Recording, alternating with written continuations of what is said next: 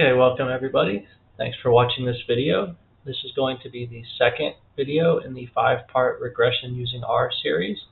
And just as a recap, the first video covered simple regression. This one will cover multiple regression. And then the future videos will cover adding categorical predictors, mean centering predictors, and adding interaction terms, which is also referred to as moderation. And so just like with the simple regression video, the format of this is the first half of this video will cover how to uh, do the code in R for a multiple regression analysis. And then the second portion of this video will focus on returning to the PowerPoint to go over how to interpret and write up the results.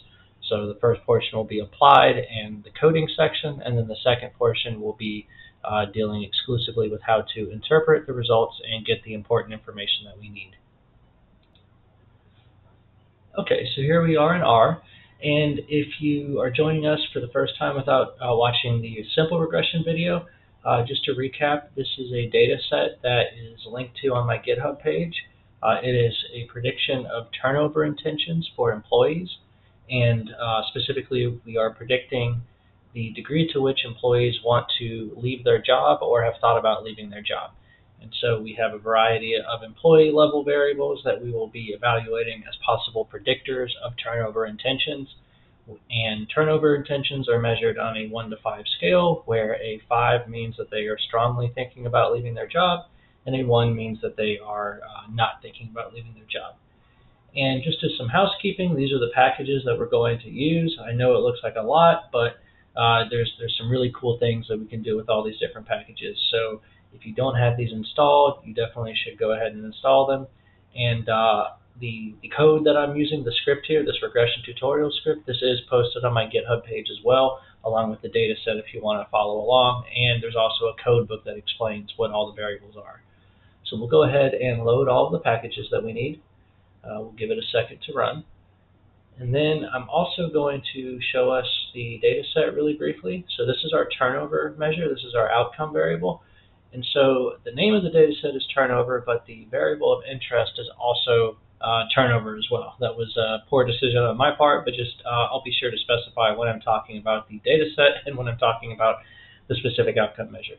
And then here's all of the different predictors. We have some uh, categorical predictors and some um, numeric predictors.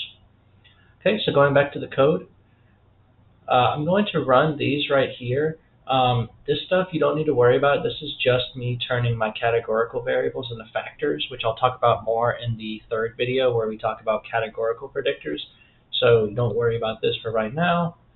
And then I'm going to go back to the code. And so this is the simple regression portion that we will skip over. And now we'll start here with the multiple regression, multiple regression syntax. And today we're going to be predicting turnover intentions from pay satisfaction and perceptions regarding career opportunity. So specifically, the two variables we're looking at are pay satisfaction, so how satisfied employees are with their pay, and then uh, the, their perceptions of whether or not they have opportunities to advance in their career.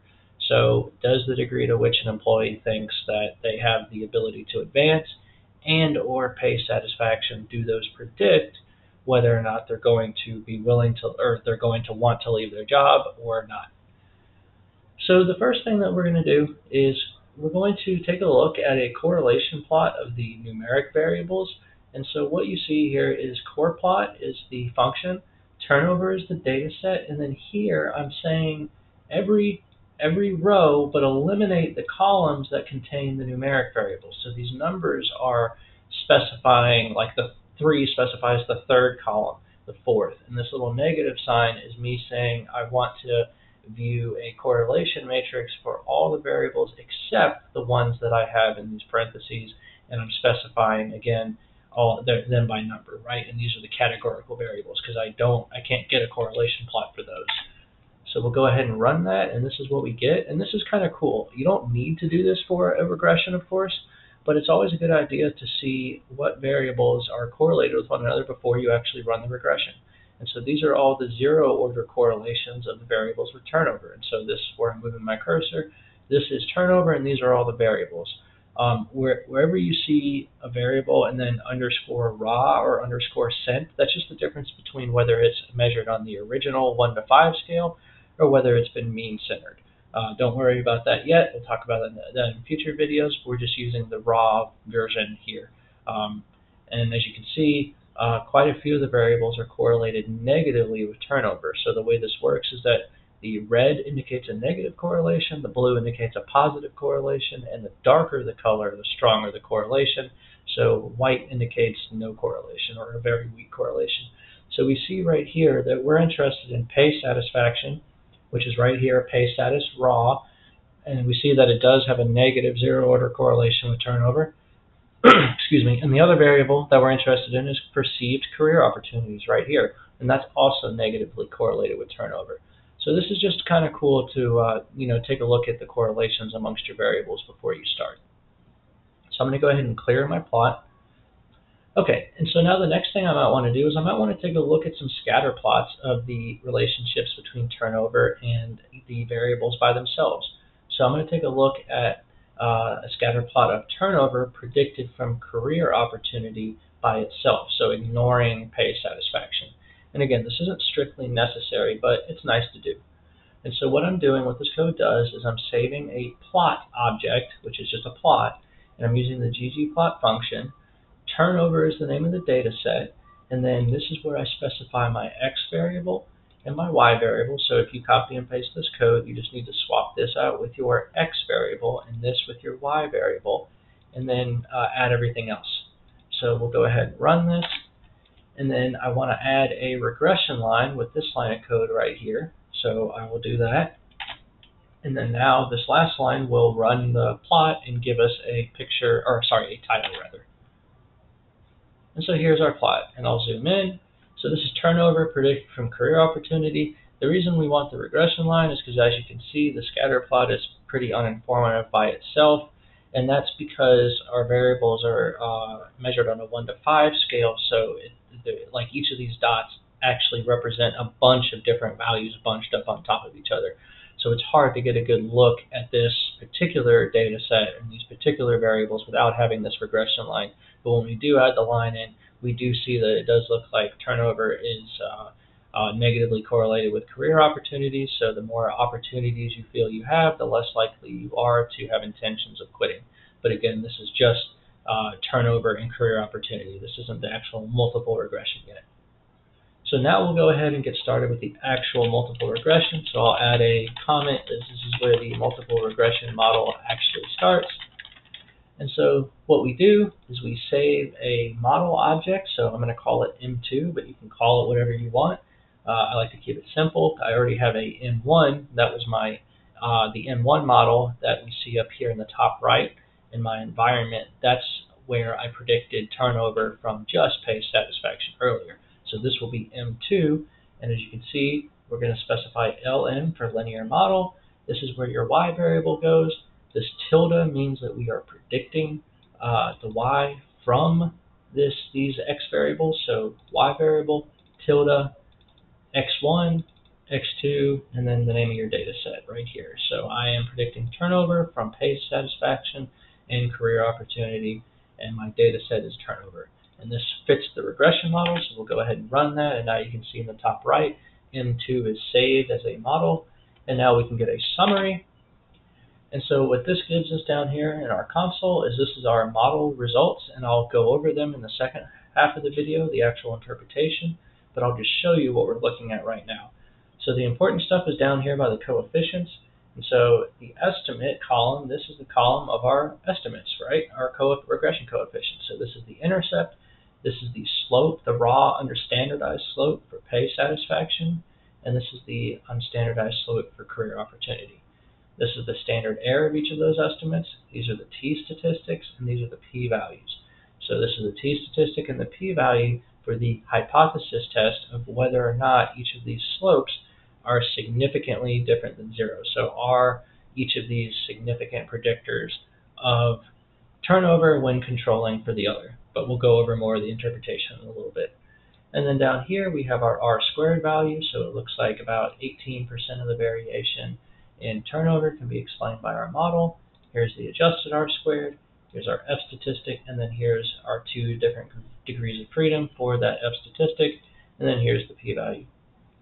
Okay, If we want a confidence interval for the unstandardized slopes, remember the, we have the unstandardized estimates right here. Well, if we want a confidence interval, we can do confint M2, and you just put the name of your model. For me, it was M2, and this gives us our unstandardized regression coefficients, the confidence interval for them, rather. And we see that right there, if we want to get standardized regression coefficients and a standardized confidence interval, which you always want to get, we can run this line of code that says effect size, and then you put the name of your model, which for us is M2. And so now we see down here that we have standardized coefficient estimates and the, uh, the uh, confidence interval for those standardized slopes. And these are also called the beta weights. Okay, and now we'll talk about effect sizes. And again, I'm going to interpret all of this later, so don't worry about that for this minute. Uh, we also might want to get semi-partial correlations and semi-partial squared correlations. And so there's a couple of different ways you can do this. Um, one way you can do this uh, is you can type in eta eta squared, that's the name of the function, and then your model. So for us, that's M2. So if I run that, uh, this gives me my partial correlations and then if I, or sorry, have partial squared correlations, and if I want these semi-partials, then I'll specify partial equals false. And so here is the semi-partial effect size, or the semi-partial squared correlation for pay satisfaction and for career opportunity, and then here's the confidence intervals for those. So I'll make a comment. This is method one, I don't like this method though. I highly recommend that you not use this because it gets complicated when you have categorical variables. We'll talk more about that later. The method that I like that makes sense to me is this thing called um, spcor. That's this function right here. So what I'm doing is I'm saving a correlation matrix of semi-partial correlations, and I'm saying spcor, that's the function. Here's the name of my data set, so you'll put in whatever the name of your data set is. I leave a blank to specify that I want all of my rows, but then the only columns that I want for my, my correlation matrix are, are, sorry, the only variables I want, excuse me, the only variables for, for my data frame are the variables that I'm interested in. Because otherwise, if you don't do this, it'll just give you the semi-partial correlations for everything. It'll act like you're trying to predict turnover from everything. So I say turnover, pay satisfaction, career opportunity. So you just specify your Y and your X variables. And so when you do this, this makes a semi-core matrix, and then you can view it by typing semi-core and running that. And then up here, when you scroll up, here's the estimates. So these are the estimates of these semi-partial correlations.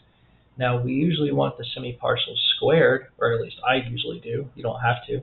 And so all you need to do is you come down here and you just say a new object, semi-core square, and what you do is you type in semi-core, which is the name of our semi-correlation matrix, and then dollar sign estimate to know that we want to pull the estimate. Uh, whoops. Yeah, we want to pull the estimate, and then this this caret 2 means squared. So this is just saying that make a new matrix that is the squared semi-correlation matrix. And to make this matrix, we want to pull the just the, the non-squared matrix and pull the estimate from it and square it. So we'll do that. And then the last thing we'll want to do is when we type in, the, uh, we can view this semi-partial squared correlation matrix that we just made. But if we just type it in, then we get, you know, the entire matrix, right? If we want to just get the semi-partials for turnover predicted from our variables, then you just type in semi-core square and then type in turnover, because that's your y variable, so, and then a comma to denote that you want the row that corresponds to turnover predicted from everything else. And when we do that, we, whoops, uh, sorry.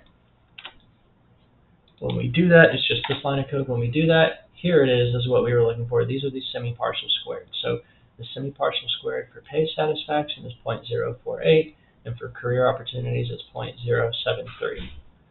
And then when we come back up to our uh, original estimates, you can see that they're slightly different than if we had used the uh, eta squared for the model, like that, that other method, right? So uh, this is why it's important to uh, just make sure of which methods you're doing, right?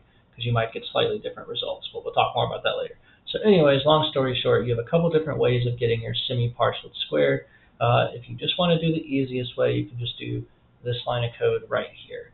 Um, but again, I prefer to do the slightly longer version, but I think that it's uh, a little more, uh, it's a little better in the long run, but user choice. Anyways, this was how you get the effect sizes. So now another thing we can do is we might want to get a visualization of the regression. And what I mean by that is this is actually really, really cool. You type in scatter 3D and then your y variable tilde predicted from both of your x variables and then your data set. So when you do this, what this does is, give me one sec. Okay, I had to find it. It pops up down here. So what it does is it makes this thing, and this is super cool.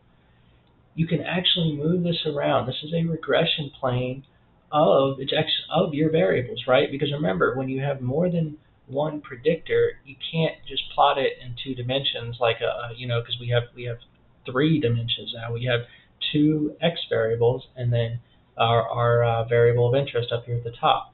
So we can see career opportunities down here, and then as we rotate, we see pay satisfaction, and then we can see how these predict turnover. And so you can do this for two predictors at a time, because any more than that would be four dimensions, right? But this is really cool because we can see what this is showing us, this regression plane. This is the uh, plane of, of predicted values or our regression plane, you know, predicting turnover from pay satisfaction and career opportunities. So what we can see is we see if we look at just career opportunities, as we go down in career opportunities, because this starts at five and goes down to one, as we go down in career opportunities, then turnover increases, controlling for pay satisfaction. And then as we rotate over to pay satisfaction, as we go down in pay satisfaction, turnover increases. So both of these are negatively uh, negative predictors of turnover. And so basically, as pay satisfaction increases, turnover decreases. Or, as we just said, as pay satisfaction decreases, turnover increases. And that makes intuitive sense.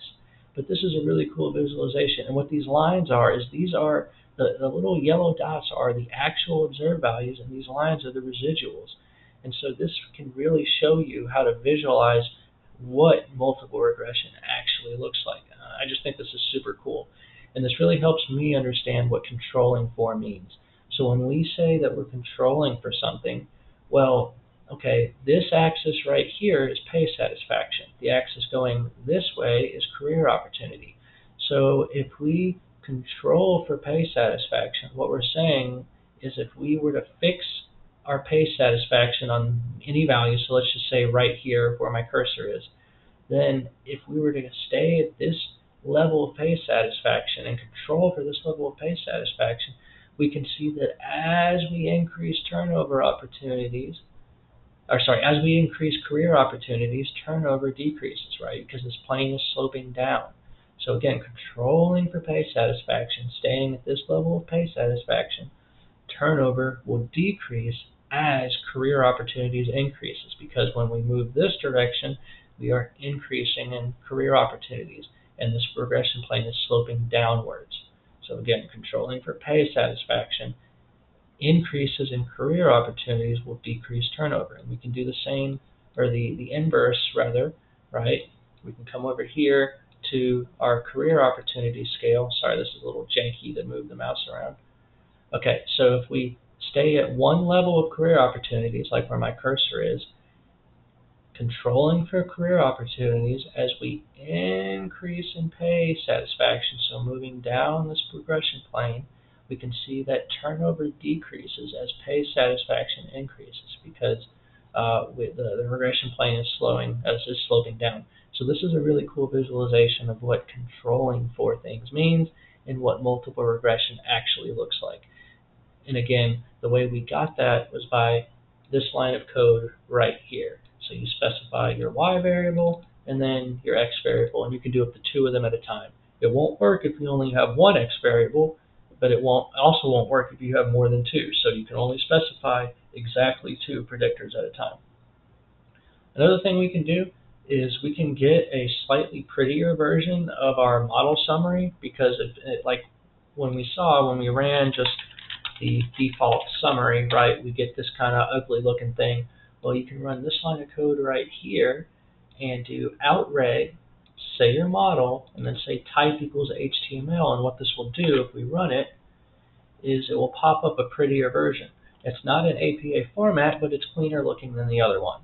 And so this is our intercept estimate, and then in parentheses we have the standard error, and then the stars represent whether or not it's significant, and then we have our other information here too. Okay, so we have fit our model, we've gotten our effect sizes, we've gotten our coefficients, our standardized coefficients, our confidence intervals, we've gotten a nice table.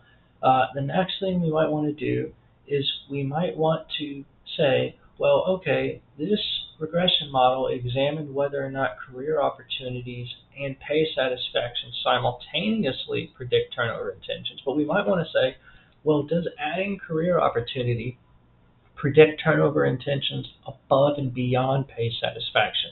So in other words, if we look at model 1, which I fit in the first video, down here in the bottom, I'm typing summary model 1, Okay, this model, as we can see, only looked at pay satisfaction. So we saw pay satisfaction was a significant predictor of turnover, and it accounted for about 12% of the variation in turnover.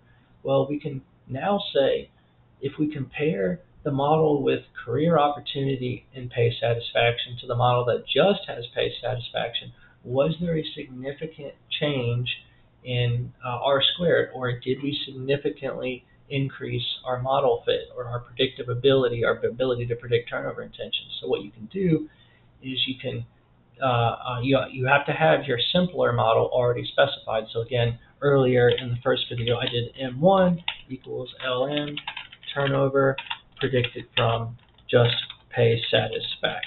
So you have to have this simpler model already speci specified. But once you do that, right, once I once I have that, then you can come here and you can type in ANOVA and then your second model and your first model. And what this will do is this will test whether or not the change in model fit between the simpler model and the model with both predictors or more predictors significantly improved uh, the R squared value. And so, or um, another way of saying that, did it significantly decrease the error sums of squares? So basically, again, this is just saying Instead of just putting both predictors in at the same time, can we specifically evaluate whether or not adding career opportunity predicts turnover intentions above and beyond pay satisfaction? So this is only necessary if you specifically want to see if one variable predicts above and beyond another.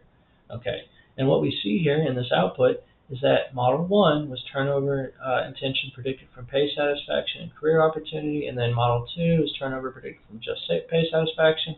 And so what we see is that this is the residual sums of squares for the simpler model. This is the residual sums of squared, or sorry, the top one is the residual sums of squares for the more complex model. This is the sums of squares residual for the for the simpler model. What we see is that we have less error when we add in career opportunity, add in our second predictor. This will always be the case, but we want to see if this significantly decreased, if the error got significantly improved. And this tells us that it does, because this is an F-test of the change in sums of squares error, the change in the reduction in error. And what we see is that uh, our F statistic, our F statistic, our F test is significant. So we can say that adding career opportunity does predict turnover intentions above and beyond pay satisfaction. That because that change in R squared is significant. The other thing we can do too is we can run a relative weights analysis. A lot of people aren't familiar with this. This is relatively, um, you know, still relatively uncommon. But what you can do here is you can specify your data frame. So for me, that was the turnover data frame. Then type in this symbol. This is a pipe. And then we type in RWA, that's the function. You specify what your outcome is, so for turnover. Then you say what your predictors are. So for us, it was pay satisfaction and career opportunity. And when you do this, what this is, is you can scroll up right here to the result portion, and this says two things. The raw relative weight says the proportion of the overall variation in turnover that's explained by pay satisfaction and by career opportunity So we see that 8% is explained by pay satisfaction, uh, 10.5% explained by career opportunity. And then you can also look at the rescaled relative weight, and this is cool because this shows us out of, it says out of the variation in turnover intentions that's explained by the model, so out of your total 18% of turnover intention variation that's explained by your model, out of that variation that's explained, 43% of it is explained by pay satisfaction, and 56% of it is explained by career opportunities. And so this can be used as a variable importance measure. This shows us that both variables are pretty close to uh, the, uh, one another in terms of their importance and their uh, percentage of turnover intentions explained. Uh, it looks like career opportunity explains a little bit more variation than pay satisfaction. And again, this is called a relative weights analysis. So this first one shows out of all the variation in turnover intentions, what percent is explained by each uh, predictor. And then the second column, the rescaled one, says out of just the variation that is explained in turnover intentions, what proportion is explained by pay satisfaction, what proportion is explained by career opportunities.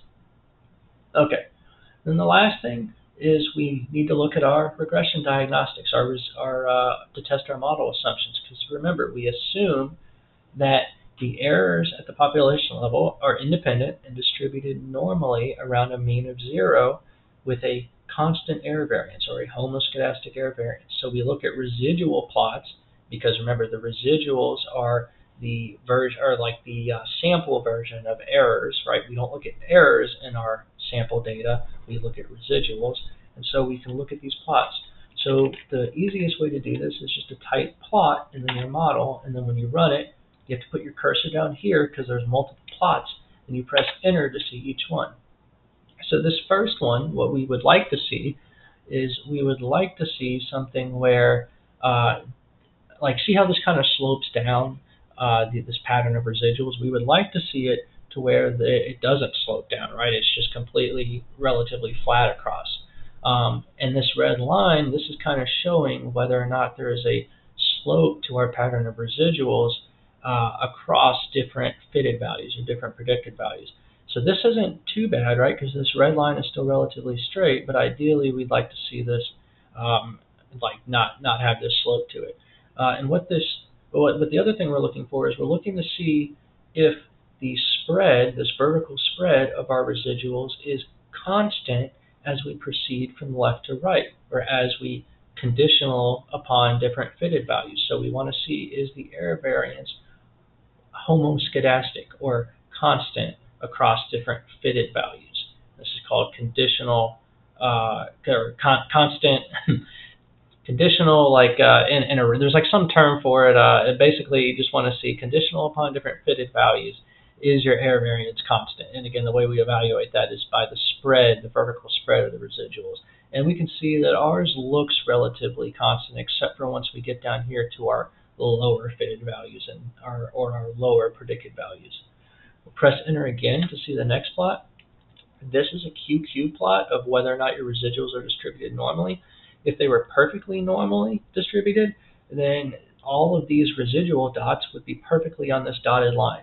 But you can see as we get towards the more extreme ends of our expected uh, quantiles for our residual values, they start to deviate from this dotted line. They don't fit perfectly flush on this diagonal line. This isn't really bad, uh, but ideally we'd want it to see it perfect. But it does look like our model maybe doesn't perform as well uh, for the more extreme uh, predicted values of turnover intentions. Press enter again. And so this is looking at the um, uh, another measure of looking at the square root of the absolute value of standardized residuals plotted against the fitted values. And the main thing with all these plots is we don't want to see a pattern. Uh, we don't want to see like a, a really sloped line or a curved line. We just want to see constant patterns of residuals. And so um, our, our specific model isn't great, but it's not awful either. And then this last one, this shows us uh, a plot of influence, and specifically it's looking at the standardized residuals plotted against leverage, and I'll explain that more in another uh, section of this presentation. And then the other thing we can do is this is how we did all of the base R plots, these these uh, non-pretty plots, we can run these to get prettier versions of what we just looked at. And so you just put uh, run this code and then put your model in inside of the parentheses for each of these plots. And so I'll run these all at once. Whoops.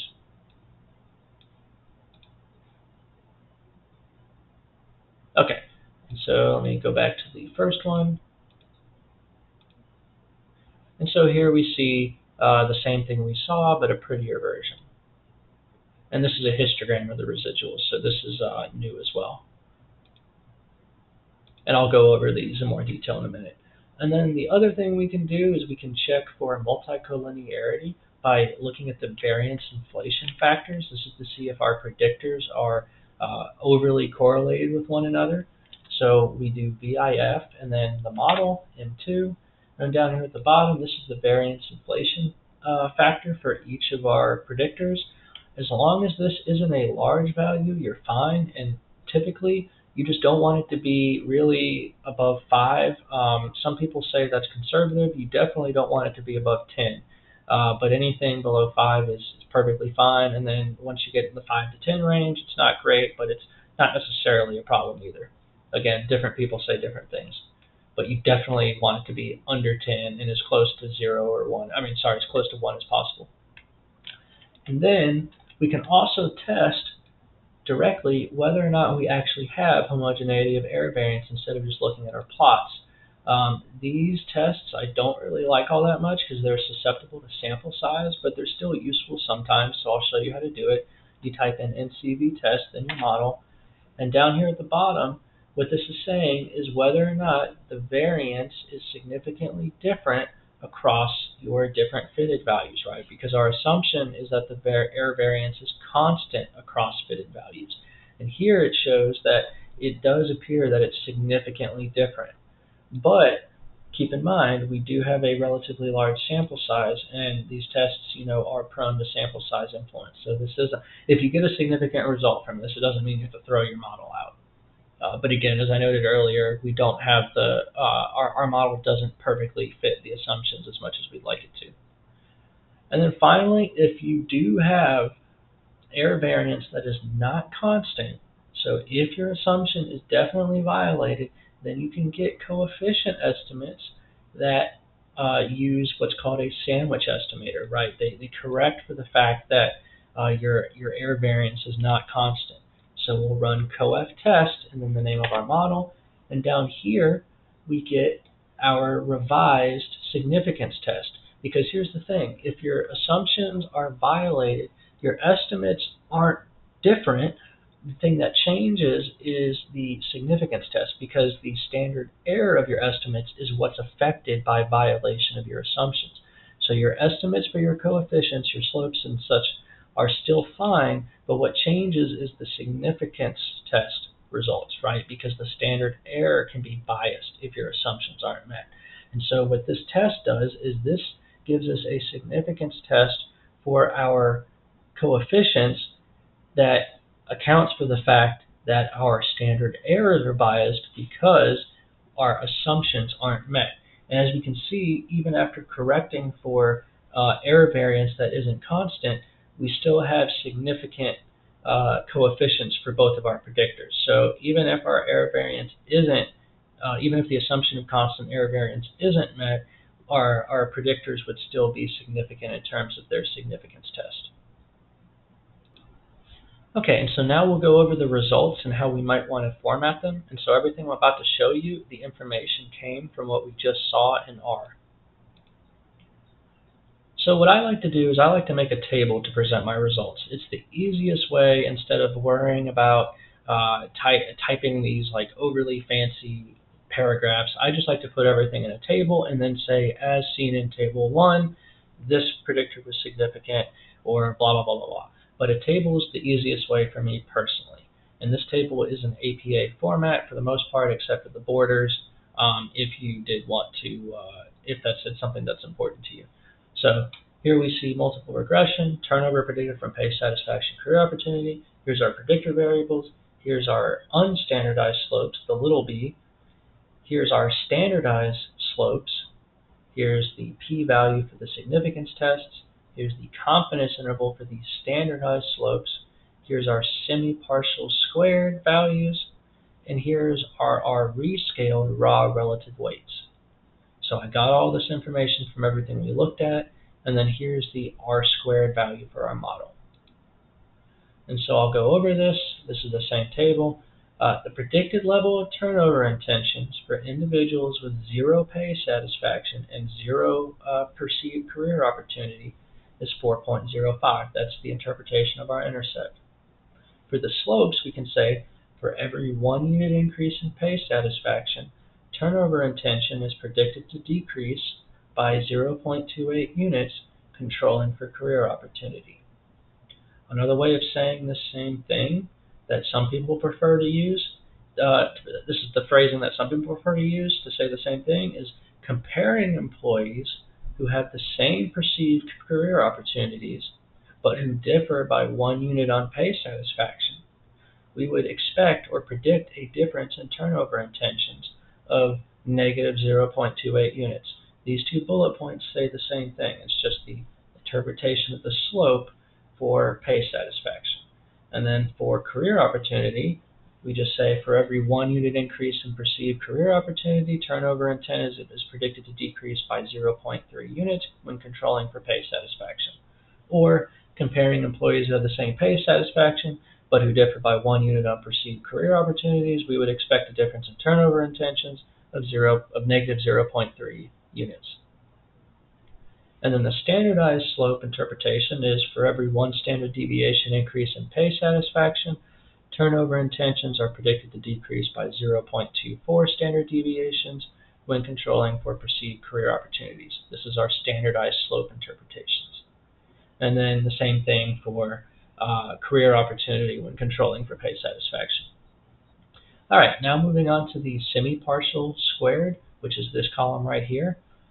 The interpretation is of all the variation in turnover intentions, about 4.8% is uniquely explained by pay satisfaction, and about 7.3% is uniquely explained by perceived career opportunities.